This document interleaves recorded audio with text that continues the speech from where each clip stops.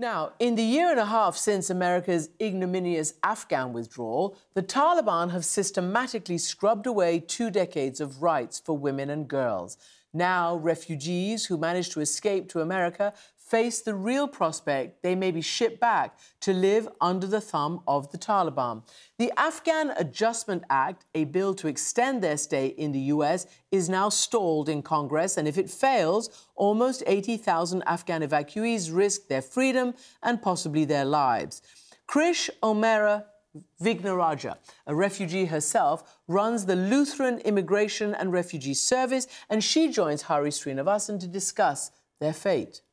Christiane, thanks. Krish O'Mara Vignarajah, thanks so much for joining us. Um, this conversation is happening at a time when there are more than 77,000 Afghan evacuees living in the United States right now, and their status is in limbo.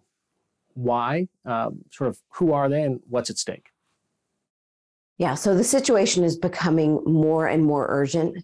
These are the evacuees who worked alongside the US military, the US embassy. They were advocates for gender rights, freedom of press, other American and Western values. And quite frankly, it's frustrating that 18 months after the withdrawal, there are still tens of thousands of Afghan allies caught up in a completely unnecessary legal limbo essentially what it means is that they don't have a permanent pathway to legal status. So they don't know if they can stay in the US or whether they'll be returned to Afghanistan to face Taliban retribution. So your organization, uh, Lutheran Immigration and Refugee Services, has resettled about 14,000 of these folks. Tell me a little bit about what that transition has been like since the American withdrawal, which was at best traumatic? So, we've had a chance to meet some incredible people, uh, patriots who really risked their lives, risked their families' lives to help us in America's longest war. Um, the last, uh, you know, many months have been us helping find affordable housing for them, um, moving them into those houses, uh, finding um, public schools to enroll their school-age children with. But just candidly, in terms of the toll of the uncertainty, it really has added immense stress and anxiety uh, to an already difficult experience rebuilding. Um, you know, a year and a half later, our case managers are still fielding the question from Afghans on a nearly daily basis when will I know if I can stay in the US? So, that question about staying, I mean, it might seem like a small semantic difference. A lot of Americans watching this are going to say just they're going to shorthand it as refugees. But that word refugee versus people on humanitarian parole is very different. Explain that distinction for us. Yeah, so a refugee is essentially someone who traveled to a third country. Uh, they applied through the UN or the US government and were able to resettle in the US. But when they arrive in the US, essentially their legal process has ended, meaning they've been admitted to the US. They know that they will stay here uh, for the rest of their lives. Humanitarian parole is a temporary status. So for these individuals, depending on what the time limit um, that was allowed, it means that they were able to stay here for a year or two. And now they have to adjust the status. And so that's why we've been advocating for the Afghan Adjustment Act because it would allow them to change their status to a more permanent one. Congress has done this for every modern wartime evacuation, um, evacuee population before. And so it would be unprecedented for us to do this, to not do this for our Afghan allies. So Senator Klobuchar, who also has Republican co-sponsors to this Adjustment Act, what's why is it stalled right now? It's a great question. Um, so, in the previous Congress, uh, we did meet some initial resistance um, by a few key Republican senators. Um, some have raised concerns about insufficient vetting, and the bill's sponsors and supporters um, have worked in good faith to address them. Uh, that's why the Afghan Adjustment Act actually includes more screening on top of the rigorous process they already underwent. Um, because I think it's important to bear in mind they were vetted during the evacuation and throughout the following months they spent on US military bases. Um, but I think it's just as important to think about uh, not just who opposes this bill, but who supports this. There have has been such enthusiasm from veterans organizations, refugee advocates, faith communities, civil society groups. Um, you know, in fact, recent polling shows that 76% of Americans want to do right by our Afghan allies and pass this bill. You know, for those who might have security concerns, what are the kind of additional steps that have now been taken to assuage the concerns of those Republican members of Congress who might have had these? Um, and you know, if you can describe in kind of a thumbnail the layers of vetting that have already happened for this population. Yeah, it's important to understand when we're talking about the evacuees, when we're talking about refugees, uh, they are the most vetted um, immigrants who are entering the US uh, because there has been a, a long, drawn out process. Um, you know, these are individuals who are going through biometric checks. Um, you have our intelligence agencies, Department of Homeland Security, working closely together with the FBI, making sure that basically every database that uh, we can access to check these individuals against, that those checks are being done. And you know, these are also individuals who are in U.S. communities all across the country. Um, you know, thankfully, we don't have stories every day about some some terrorist who's infiltrated our community. Uh, these are individuals who have become our neighbors. Um, they're working in schools. They're working in hospitals.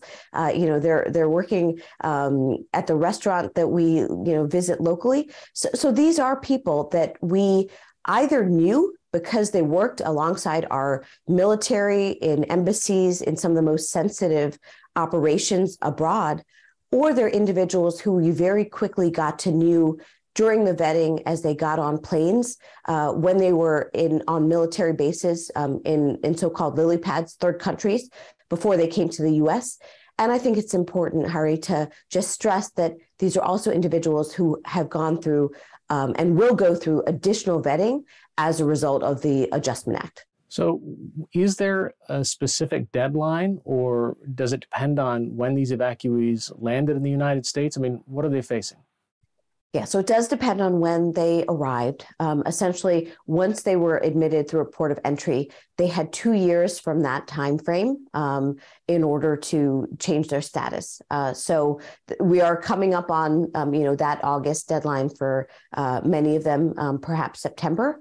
But it is important to understand that you know no immigration process in the U.S. is quick, um, and so that's why the sense of urgency, uh, the sense of desperation, is already being felt. And that's not just by our clients. Um, you know, every day we hear from landlords uh, who wonder whether the tenants, you know, will be allowed to stay. And, and obviously, they have been very uh, helpful in terms of opening up um, housing uh, to this community. Um, employers who are incredibly grateful to have hired uh, skilled um, and or uh, you know driven employees, and they don't know what's going to happen um, to these individuals. So there's a lot of uncertainty across the board. And where are these uh, evacuees located around the United States? Yeah, so really, um, they are in communities all across the country. Um, but in particular, you see uh, a significant population in places like um, Northern Virginia, uh, Texas. Um, for many, uh, they might have had family here before, or they knew that there was a significant Afghan population in a certain community and gravitated towards that area. But it has been fascinating that whether we're talking about North Dakota or Oklahoma, um, there have been welcoming communities that have been incredibly enthusiastic and generous in helping uh, Afghan families find a new home there. There have also been different veterans groups advocating on behalf of these individuals. I mean, in addition to those veterans groups, I'm sure there are people lobbying in Congress to try to get this piece of legislation moving. I mean, what have you heard from legislators that you've heard from?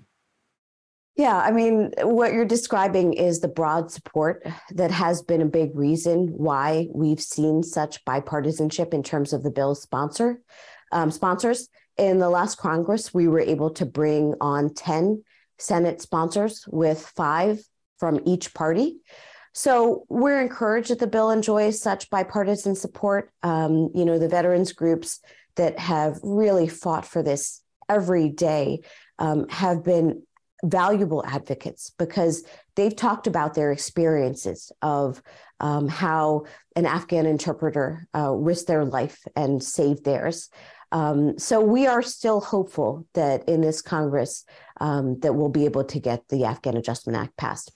No, I don't want to pit one community against each other, but the Biden administration has uh, thought about the humanitarian parole status for, say, Ukrainians who came through Mexico. Uh, why do you think that this population of Afghans has not gotten that type of support? It's a great question. And I do think it is problematic when you see different policies that are passed for different nationalities. Um, you know, we made a promise uh, during our presence in Afghanistan that we would protect these families, these individuals, and that wasn't a temporary promise. And so I think it is a commitment that the U.S. needs to fulfill. Um, but that's true across the board. So whether we're talking about Ukrainians fleeing um, Putin's invasion or those who uh, worked alongside um, our U.S. military and U.S. embassy and others, um, I do think that it's a promise that we need to fulfill, and it's U- the U.S. showing its global humanitarian leadership. If the Adjustment Act does not pass and August comes around, what do these Afghan evacuees face? So I think it depends a bit on who's in power. Um, I think we are hopeful and fairly confident that if we're still talking about the Biden administration, um, you know, for the next couple of years, we don't expect any deportation orders. Um, that there would be an extension of their temporary status, uh, whether that's uh, what we call reparole or they are granted temporary protected status in the US. So there are a couple pathways to just extend um, the temporary status, but it doesn't change the uncertainty and the stress that these families are facing unless it is something like a legal long term pathway.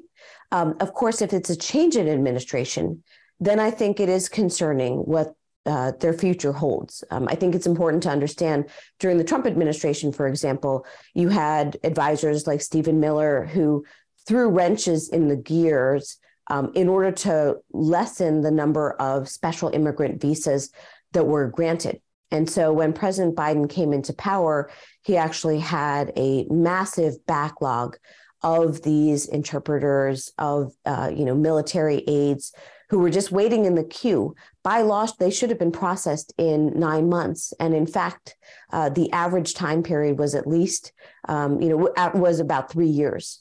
Uh, so that's what we're worried about um, is what happens if you have a change in administration. There's no Afghan Adjustment Act passed, and these families are facing the real prospect, prospect of being returned to Afghanistan. So tell me a little bit about the concerns that you are hearing from the families here, because the Afghanistan that they left is not the one that they would return to. Yeah, that's right. And, and I think that's uh, why we hear from our clients such um, grave concerns uh, because, from their perspective, they fear that if they are returned, it could be a death sentence. Um, they know that uh, not just because of their service now, but because they fled the country, they have a target on their back. Um, they fear retribution against their family. Uh, for uh, all of our clients, um, I hear about how family that they've left behind have been contacted um, by the Taliban or, uh, you know, in different situations have had to really fear for their lives, relocate. Um, and so it is a, a cre- incredibly daunting prospect of, of their return. What about just the status of women and girls and how that's changed? I mean, uh, half the population that's here has got to be concerned about that if they have to go back. That's exactly right. I mean, I think, um, you know, I've met some incredible women who have had uh, amazing careers in Afghanistan. Um, you know, we actually uh, were able to give a grant um, to an entrepreneur um, who just, you know, was uh, amazing in Afghanistan. Uh, she has such drive um, that she's brought here to the U.S. I'm sure she'll be a successful entrepreneur. Um, but you know, when I led Let Girls Learn uh, for First Lady Michelle Obama, um, we knew uh, what the Taliban could do. Uh, we knew how these delays in returning girls to school can end up being years, um, if not decades. And what that means is a lost generation of girls who don't have a chance to get an education, um, who don't have a chance to realize their potential. And so the idea of families, of girls, of women who have tasted the freedom that America represents to be returned to Afghanistan, um, it's just uh, a dismal prospect, and we can't let it happen. What are the conditions on the ground that they're describing now that they're concerned about? They fear um, for their families' lives because the Taliban are obviously uh, ruling without any constraint. Um, they worry about the economic conditions because of the essentially complete collapse of the economy. And obviously, um, you know, there's no real prospect they feel uh, for additional family members coming to the US. Um, that concerns us because government officials um, in the administration were clear that even without the military presence, our mission wasn't complete until we protected all of the allies who worked alongside of us in Afghanistan. And I think that we need to fulfill that promise. It may be hard without a consular presence. It may be hard uh, without U.S. you know boots on the ground, but but that doesn't mean that we can't um, and shouldn't fulfill our pledge.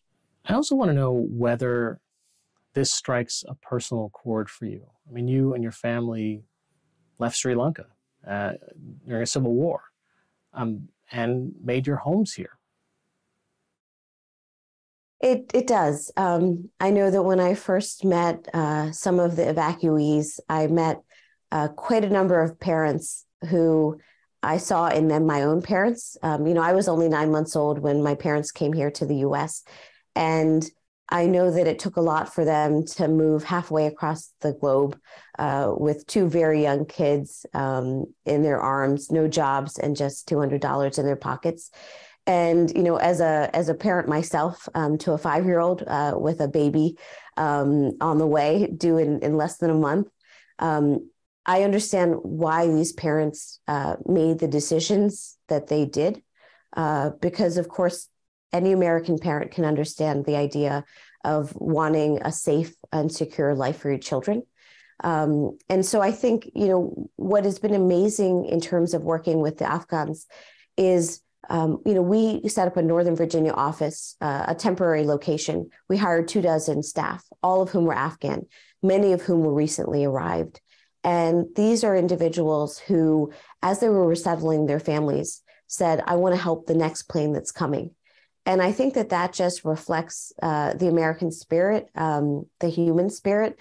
Uh, and I, guess the other piece of it is just seeing the generosity of Americans. We had tens of thousands of volunteers sign up in a matter of days and weeks to help um, these communities. And to me, that reminds me of just the, the welcoming community that my family thankfully experienced here um, that gave us a new home. Krish O'Mara Vignarajah, President and CEO of Lutheran Immigration and Refugee Services. Thanks so much for joining us. Thanks for having me, Hari.